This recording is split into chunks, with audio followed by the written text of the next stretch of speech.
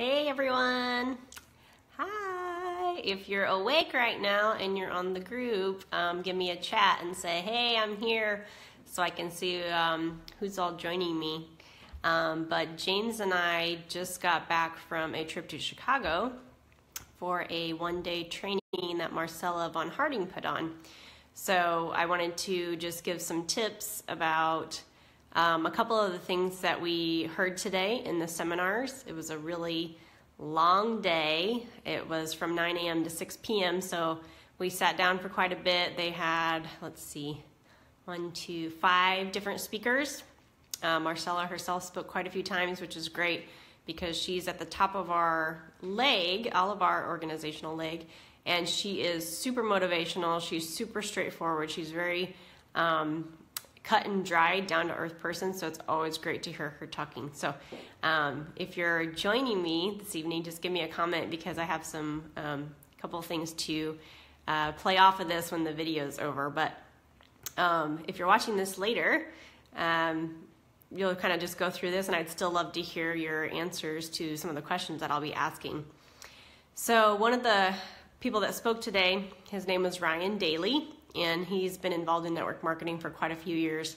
He um, apparently was instrumental in helping Young Living set up their compensation plan structure, so he's very knowledgeable on like the ins and outs of um, how all the money should work, how all the commissions should work, and um, he had some good um, practical tips um, about how to build your system. And uh, so that's why I wrote um, tips for building a system of success. And so I wrote quite a few notes for when he was talking. I thought it was a great topic to bring up today. And so I just wanted to share a few of the things I wrote down for from uh, his seminar. And hey, there's Krista. Hey, Krista. um, so uh, he, one of the things that he said uh, that I thought was great was, you know, it's not just about our numbers as business builders. So some of us are trying to grow our organizations or increase our rank, uh, rank every month or uh, get a certain paycheck that we're looking forward to as part of being in network marketing. Um, but he was saying, you know, it's not about it's not just about the numbers; it's about changing the behaviors that move the numbers. So um, it's kind of a simple concept, but how do we, if we're looking for more organizational group volume in our group, how do we get more people to order? How do we increase orders for the month? Um, if we're looking to um, uh, go up in a certain rank, you know, how do we get to that step? How do we encourage other people to become leaders under us and um, have have them be kind of our leading legs that'll get us to our next rank? So, you know, it's not just about the numbers. It's such a relationship um, business, and that's what's so important about it. And that's why it can be intimidating getting into network marketing because you have to talk to people and you have to be um, go out of your comfort zone a lot to uh, to learn about people to listen to their needs and plug them into what's right for them. So that could be the products with young living. That could be the business. That could be both um, which would be awesome. That's the ideal candidate. Um, but we really have to figure out um, how can we um, kind of pick the right people and how can we influence their behavior um, to help them uh, first and foremost, and how will that affect our our, our organization in the process? Um, and so uh, he talked a lot about duplication, leverage, and also repetition of tasks. And so we need to um, kind of uh, identify what works and um, and then do it. You know, it's not always about knowing what will work, but it's actually acting on that and getting the work done sometimes. And the problem is that a lot of times we'll we'll do something for a while, it will have worked for us, but for some reason or another, maybe we think it's going too slow or we're just not that excited about our results, even though we've had results. Sometimes we just get bored and we stop doing what we know works. And so um, we he was saying, you know, Ryan Daly was saying we need to embrace the boredom. So if you have a system in place already that you know works and has been successful for you already, um, get used to that and stick with it because it's it's showing results for you. Now, if you're in a spot where you've been trying the same thing for a while and uh, you're just thinking, okay, this is obviously is not working, maybe that at that point it's time to kind of take a step back and pause and decide what you need to recalibrate and what direction you need to go instead um, to, to find something else that will work for you. Um, so he said, you know, success is not about being entertained by everything we do every day. Um, so a lot of us get into this business because it is a great option for us. It allows a lot of time freedom at, at a certain point. Um, usually, when people first get in, you're working a lot. You're doing a lot of different things uh, to move the needle in a big way to get you launched off. But once you get to a certain point, you know you'll have that those freedoms that you're looking for, the financial freedom um, and the time freedom. But that's not going to come right away. That's not realistic. hey. Um, so we can't just be discouraged um, that you know having to get out there and put our boots to the ground um, is is not entertaining to us because a lot of times leaders have to do things um, that aren't that fun that that might seem monotonous or repetitious but they work um, such as inviting people to classes and hosting um, in-home in-home parties where you explain the starter kit maybe that's not your forte maybe that's not um, the easiest thing for you to do but um, in my experience and a lot of the experience of people I know in Young Living, at least, that's a successful way to introduce people to the starter kit and get them signed up. Um, so he, you know, he was talking about repetition is what develops behavior into our nature. So at first we're scared of something. There's that fear of, you know, should I do this? Should I not? Um, okay, I guess I'll go ahead and try it. You kind of push past it. And then hopefully you get a reward from doing that. You see a great result. Um, and after that reward um, comes the love of that, and you decide to do it more and more. So the more you embrace that habit, that rep- repetitious behavior, um, it becomes ingrained into what you're doing, and then it becomes a habit for you. And it's like it's like you were never afraid of it at all. So that's I thought that was just a great point about how sometimes we have to take that initial step, even if we're scared of doing something new for our business and we have to try it to see if it'll work for us. And maybe it won't. Maybe it will, though, and you never know unless you go ahead and try something new. Um, he also said the consequences you're getting are a result of what you're doing. So if you're in your business right now and you're feeling kind of stagnant, and honestly, I have been feeling this myself. Um, we're sitting at gold right now, but we're certainly not um, satisfied with that. We want to hit platinum, and I would love to hit it this year, but I have to take a hard look at okay, what am I actually doing, and am I really um, well, something's making noise over here. um, am I really working towards that goal? And at this point, I've been kind of slacking on some stuff. And you have to take a look at what you're doing. And if you're not satisfied with your growth or your rank or your paycheck right now, um, decide if you're actually if, if you're doing any of those activities that will move the needle um, in the direction you want it to go so if you if you're not getting the right results that you want now then you must not be doing the right actions to get those results um, so he was talking about building your systems and that's kind of what i wanted to focus on because i thought there were some great tips and i won't take up too much time on this video tonight but uh, um, people who are you're enrolling into the program into young living um, people who are just getting started, either with the products or the business. Um, they need something to do and they need someone to show them the next steps. So, especially if you have somebody interested um, in the business aspect of Young Living, you know, uh, I'm guilty of this. A lot of us are guilty of this. You get them signed up. You did so much work um, talking to them and sharing with them and getting them excited about Young Living's products and the business opportunity of it you spend so much work um, that once they actually get enrolled, you kind of are like, whew, okay, I can relax now. And actually, that should not be our mindset. That should be like, okay, now I have a lot of work to do um, because now I have to teach this person. Not only do they need to learn so much about the products that they're going to be using, all the stuff that's coming in their kit, but um, especially if they uh, uh, expressed an interest in the business, we have to show them, okay, this is step one. So step one, you know, you get your kit, you you try your oils, you use your diffuser every day, you you use some of the vitality oils in your water and your cooking and your food, and you get an experience. You get stories that you can share with people when you're going to talk to them, their own friends, about young living. Um, and how do they do that? So we have to break down the steps uh, for them. You know, this is step one, uh, this is step two. And um, that's part of the something that James and I have struggled with because we came into this business a different way than a lot of people. And I can tell that story a different time, but um, we all have to make our own system and make a system that will help us succeed with what we're trying to do. So, uh, some of the rules that he said for setting up our systems number one is duplication. And we've heard this a bajillion times. I'm sure you guys are uh, as sick of the word as I am. But uh, we need to be doing things and showing people how easy it is to introduce other people to Young Living. So, if, um, if uh, we need to show them stuff that'll get them fast results. And so, uh, hey Judy, some of the things that um, can feel intimidating, especially if you're hosting or you're teaching um, home parties, is people ha- people have this idea in their head that like, okay, well, if I have to do what you know Rebecca's doing and stand up in front of ten people and teach a home party, I'll never be able to do that, and it just isn't something that they can see themselves doing at the time.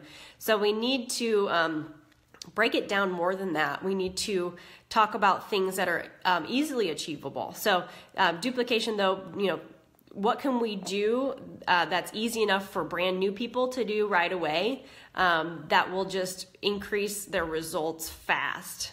Um, uh, quicker than they were even expecting, and we want that we want to get our new people to do to do more something than nothing. So, um, because the common thing is to get in and they get their kit, and if you, especially like I mentioned, if you uh, felt like you can relax now that they're in the company and you can kind of take a back seat and, and um, step away, that's exactly the point when they need your support. They need you following up with them and saying, Hey, did you open your kit yet? What have you tried? I would love to give you some of my favorite recipes or diffuser blends. And we need to step into that role more and follow up with them, especially in that first month, especially in the first three months of them getting in, because we need to know that they're satisfied with their purchase, they're happy with the products. If they have any questions, we need to be chasing them down, you know, to a certain point to to open that doorway for them um, so that they don't feel like we were just going for a quick sale and now we're done and who cares whatever we made some money off of them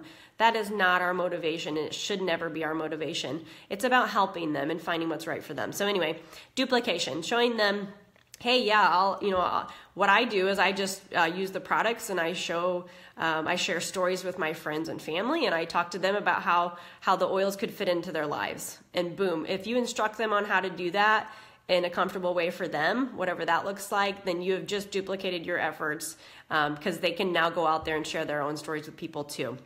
Um, number two rules for systems was um, something that's easy to replicate. So, kind of on the same thing, you don't want to be a specialist. You don't want anybody to feel like they have to have read so many books or taught so many classes or have certificates in um, arbitrary things that don't actually matter for um, the the grunt work of network marketing. Um, so that you know we're not doing this for us we're helping them. And so we want to we want to make things that are easy for them to replicate. Um, so if that's just you know sending little samples to their friends done. A cheap and easy way to get oils in the hands of somebody new. Um, so number three rule is uh, make it believable and approachable. So they must believe that they can do it. This goes back to, you know, if they're not the type of person that can uh, be comfortable standing in front of a huge group of people, show them how to do a one on one presentation. Um, talk to them about how they can do a, a 15 or 30 minute meeting with somebody over coffee um, you know, stuff like that, or invite people to their houses. It doesn't have to be what you are doing necessarily, but we need to be able to teach them um, how to have that process in a way that works for them. And uh, so they have to believe that they can do it. And we also need to be um, promoting that it, uh, the the goal is approachable, achievable, and um, you know we can't just go out there and say, "Hey, would you like to make a million dollars in network marketing?" because um, for one if you're not making a million dollars yourself that's not really that authentic it's going to come across as phony and sleazy um, but how can we help somebody make that first $50 or the first $100 or the first $500 because that is attainable if you can show somebody how they can um, earn their first $50 paycheck just by enrolling one person that they know um, if you get them to that point and you show them how easy it is that's exciting for them. And they thought, wow, okay, I just earned $50. Then you say, okay, let's earn your first $500. And you go over with them, okay, have that realization of what is that $500 going to pay for in your current life? That could be a car payment for somebody. That could be a student loan for somebody. That could be even like three months worth of groceries for a family. So, what is that, uh, you know, $500 paycheck going to lead them to? And set some goals around how can they make that $500 every month, um, and put those systems in place for how to get them there. Um, you know, small steps, doing things that work. Um, and if it's approachable, they'll they'll create an action around it, and then they'll have a reward that comes from that action, um, and that will help them re- realize the potential of the business. Um, the fourth step here was actionable and, and accountable. So we need to um, help them out with the steps to take, the things that they should do, the action items, the daily do, um, to-do lists. And what's funny is they mentioned, you know, a lot of people get into network marketing because they're trying to get out of the nine to five. They don't want a boss telling them what to do anymore. Um, and they would love to, you know, do their own thing and be their own boss. But a lot of the problem is a lot of people get into this as a side job. Unless you're a stay-at-home mom and you're already working out of the house a lot of people come out of the corporate world and do this as a side business. And so they're used to that structure. And so it, you know there's really no use fighting it. We should actually just say okay um, if you're looking for something to do, these are the steps that I know will work. These are the income producing activities that work for network marketing. Hosting classes and getting people enrolled, um, and you know, talking to people about getting on Essential Rewards, and then teaching all of your new members how to do those first two steps. Those are income producing activities. And if you can give them those steps to take and they find the, um, the benefits from that, they're gonna they're gonna be successful. That's gonna set up a great system for them, um, and also you can help uh, help them to be accountable. So not that we're people's bosses. I certainly don't view um, you know James and I don't view ourselves as your guys' bosses. Um, we're here for leadership and support, but I'm not. I'm not necessarily going to be checking up on you and say, "What did you do today, Judy? Uh, you better give me your report at the end of the day of all the activities that you uh, did on this Saturday." Um, you know, that's not what it's about. But if if you're the type of person where you need to tell somebody about your goals and you need to be held accountable for that, um, that's kind of up to you guys to do to reach out to us and say, hey, I would love to get on a schedule. Um, these are my goals for the month, and I would love if you checked in with me once a week or twice a week or once a month and just said, hey, how am I doing? Because that's going to help push me to get my action items done. So if you're one of those people, you know, uh, give a shout out to us and we would love to set that structure up with you. Um, the next step here was um, self training. So we don't want to be um, we don't want to be giving our new members a crutch either, and especially as you grow your organization and you try to build up leaders like we guys, we're we're hoping to do with you guys. We don't want to create a system where you always need us. Um, as nice as that is to be needed, we want you guys to be out there doing your own thing, whatever's whatever system is working for you, um, helping you create those experiences and growing your own organizations. Um, so that you can solve shipping issues for your downline. You can call the leadership line when you get to silver and help your, your members uh, fix problems with shipping or ER um, or returns and stuff and you won't always have to reach out to us for those things. Uh, we are happy, of course, to do all of those things, but what, what it comes down to is are you uh, are you the type of person that's going to be that leader where you're going to take the reins and say I can do this and if I don't know the answer, I'll reach out or I'll find out and get that going with your own uh, with your own organization. And I feel like that's how I've always been as a person. You know, I'm not I'm not somebody to kind of pull the crowd and ask for answers on something that I'm I'm thinking about. I'm just going to get on Google or I'm going to find a YouTube how to, and I'm I'm out there saying. I'm going to find this out for myself because I take a satisfaction from that as well. And we hope to uh, raise up more leaders like you guys who are out there just saying, I don't exactly know how I'm going to do this, but I'm going to find out for you. I'm going to follow up for you, and you're going to be somebody's resource. And a lot of people just need that. They need a resource um, for questions. So, um, training yourselves, tra- helping train your own organization so that we don't have to manage everybody under us. And the same for you guys. As you grow into higher leadership positions, you won't have the time to train and keep uh, holding the hands of every single person on your organization. Um, so, you need those leaders in place to do that and create those relationships. Um, the last one here was just um, make it. Um, the last rule was make uh, make it goal oriented. So. Uh, use your compensation plan to set goals and milestones. And so James and I uh, we're just brainstorming the whole drive back. It was like two and a half hour drive back from Chicago. We are our minds are just uh, excited again, and um, we had the, our wheels turning about what we can do, how can we do incentives, and how can we help uh, more of you guys set some goals this year. So I'm going to follow up uh, after I kind of hash out more of my ideas on that and uh, follow up with um, everybody in the group and say, okay, what goals are we setting? Let's make an action plan. Let's get something going this year because I think it's really exciting. Um, last year for us was kind of like a an even keel year. I want to be I want to be a platinum this year. I want to go to convention as a platinum, and whether or not I get to walk as a platinum, I don't care. But um, you know, at this point, we got five months to make it happen. so we got some thinking to do. We got some brainstorming. Um, but I just thought uh, today's talk was just great. It was refreshing.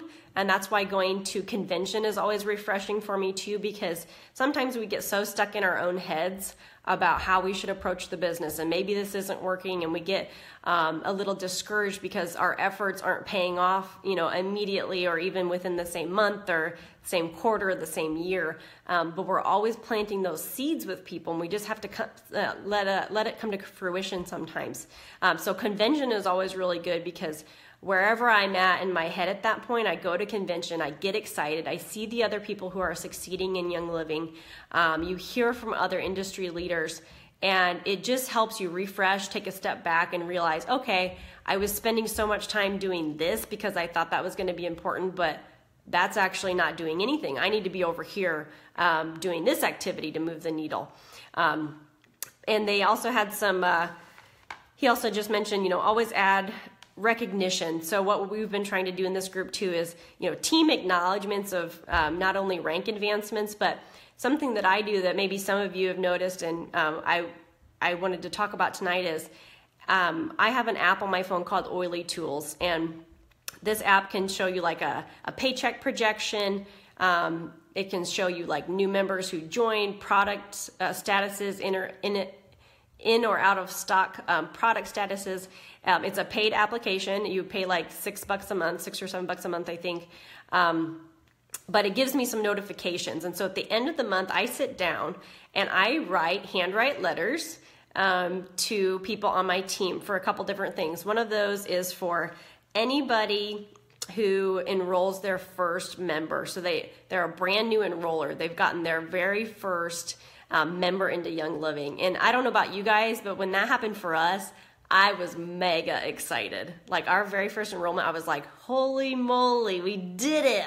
That feels really good. So at the end of the month, whoever enrolls their very first member, I get a notification on my Oily Tools. And so I write them a letter and I have scripts that I've just written and I just write them on a little card, like a four by, like a three by five card. And I say, you know, congrats on your new enrollment. How exciting you're sharing the love of Young Living with your friends and family. That's going to help out uh, you know, not only your family's health and wellness, but theirs. And, you know, congrats. And here's my business card. I'd love to chat more. And by the way, you know, I, I'd love to connect with you on Facebook. And just making those connections with people and just congratulating them on something that they did. Um, so I send to new enrollees, um, enrollers, I also send to anybody who increases in rank, and depending on what rank it is, I might send a little something extra, a little book, or um, uh, like a roll on. We're doing roll ons for anybody who hits Senior Star, either a deep relief or a breathe again. So if that's you and Senior Star is on your horizon, you'll get a gift from us. Um, but I just say, hey, you know, it's not even easy to hit Star. It's not easy to hit senior star. It's not easy to hit anything beyond that. So I want to reach out and say, hey, awesome job. And if you're not in my business leaders group yet, I would love to have you be a part of my exclusive private group on how to do this as a business. And I just reach out and say, you know, awesome job, love to connect more. Here's my contact information. Um, and then I also send out to who else do I send to? Um, there's one more set of people, but I can't remember at the moment.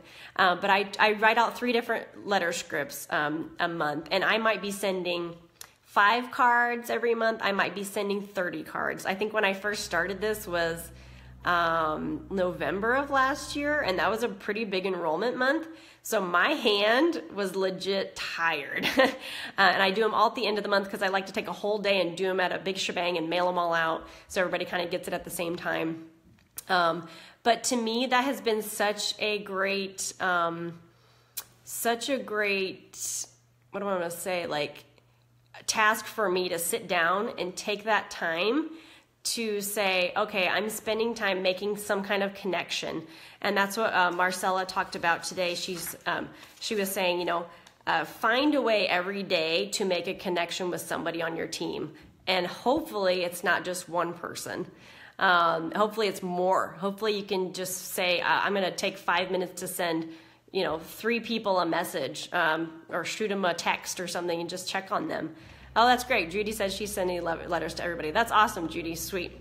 Um, so that's just one of the ways that I've been trying to intentionally make connections with more of our downline, create that team culture, create the open doors that people maybe didn't even know were there.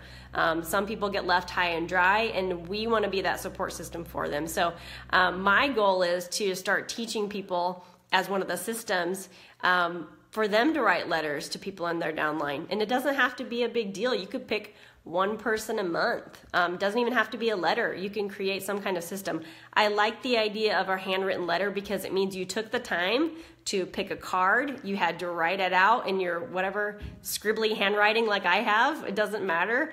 Uh, you put it in an envelope, you put a stamp on it, and you put it in the mailbox. Like that took some extra effort instead of copy pasting a letter, um, you know, script on an email that hopefully they'll read.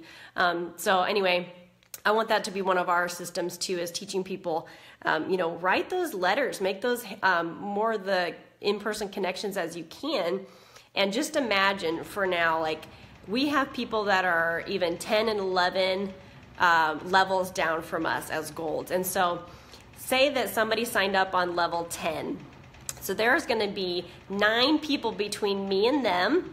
And say this person just signed up and I send them a, you know, welcome new member letter. And I just say, hey, glad to have you on the team. I'm in your upline support system. Um, here's my contact information. You have a great sponsor in so and so. Doug's going to be really great for you and I'm also here too as your uh, as your support system. That's the beauty of network marketing. So I'd love to chat more.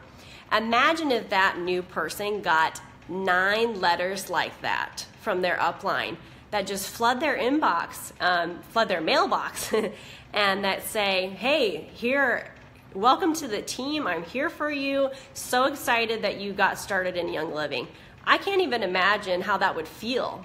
Um, it might be a little intimidating, but a certain uh, if that was me when I first got started, I'd be like, wow, people are really paying attention.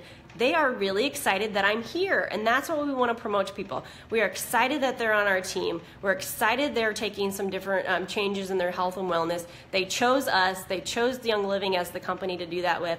And we want to support them however we can. So, anyway, uh, I can talk more about that some other time but I, I, like the letter idea, and I heard that from somebody else. That wasn't from me, so I'm, I'm starting to pass that on now too. Um, but the last thing I wanted to hit on tonight before I go um, is I want to get some feedback from you guys. Whoever's watching this, whoever watches this later, make a comment because this is part of what we learned today.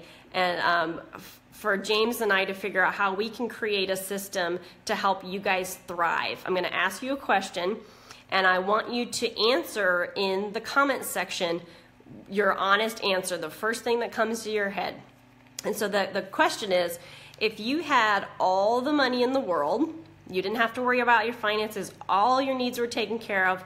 Uh, maybe you already lived in the, your dream house, you had your dream car, you lived in a dream location. Uh, if you had all the money in the world and your needs, everything was taken care of, what would you do with your time?